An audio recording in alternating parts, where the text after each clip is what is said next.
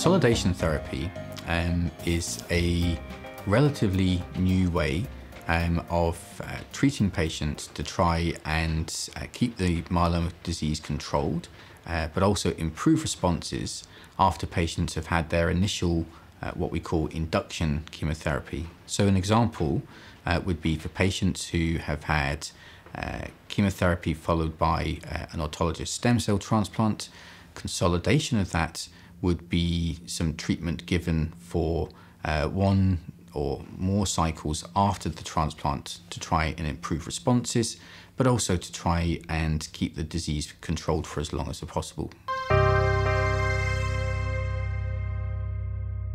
Maintenance treatment um, is a little bit different from consolidation treatment, and this is a continuous therapy that's given after initial disease control has been has been gained by uh, chemotherapy treatments,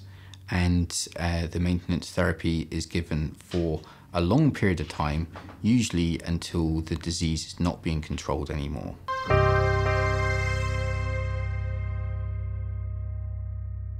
Consolidation and maintenance therapies may well be useful for patients with myeloma.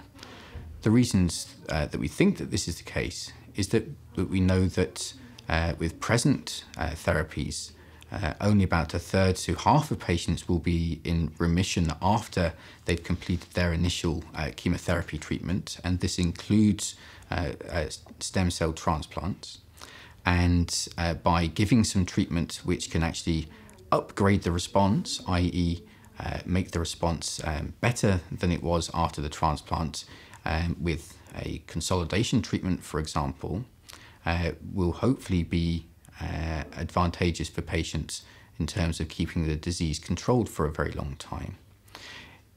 We also know that unfortunately for most patients, myeloma will come back after their initial therapy, and it is hoped that giving maintenance treatments uh, that it will keep the disease controlled for a much, much longer period of time than for those patients who don't have maintenance therapies.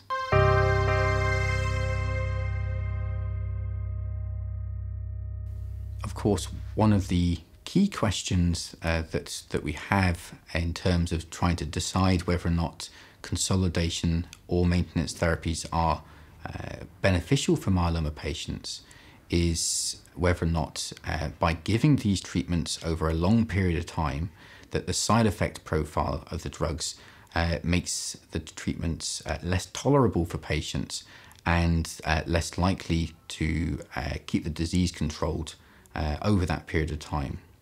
There is also a potential uh, concern that by giving treatments earlier in the course of the disease means that um, they might not be quite as effective um, at a later stage in the disease uh, if and when the disease relapses.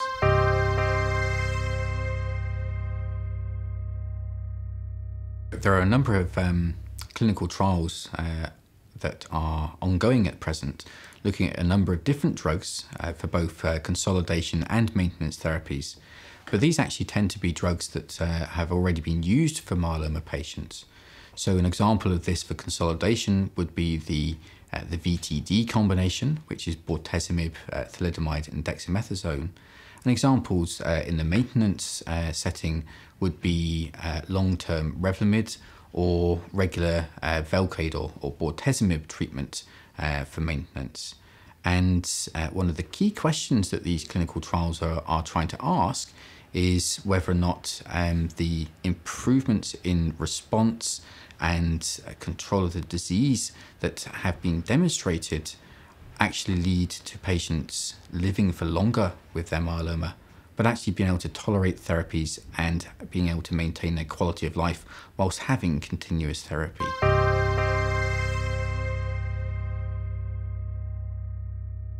Consolidation and maintenance therapies uh, are not something that uh, tend to be widely um, administered to patients at the moment. And this is because there are a number of clinical trials which have been undertaken to try and figure out exactly how useful they are uh, what type of therapies are the make the best consolidation and maintenance therapies, and uh, how long that you give those treatments for.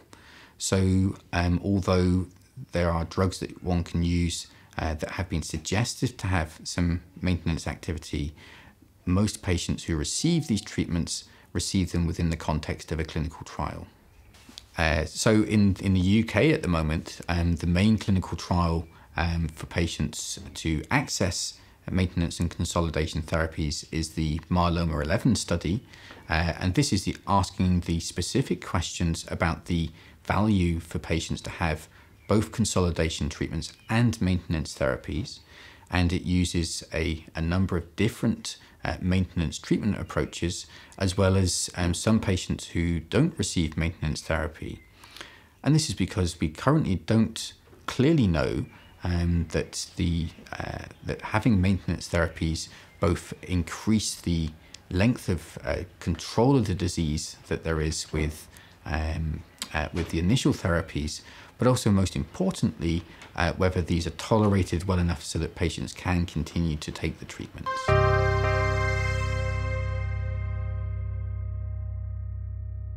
It does seem that on the basis of the early clinical trials that have been um, published, uh, that the there is a real place for the use of consolidation therapies as well as maintenance therapies.